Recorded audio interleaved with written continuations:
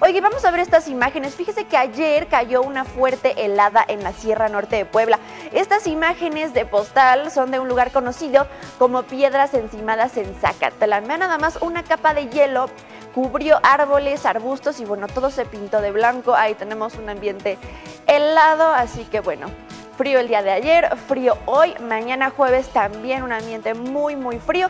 Para el viernes vamos a esperar que las condiciones mejoren y que la temperatura vaya subiendo de manera gradual, mientras mejor hay que abrigarnos muy bien.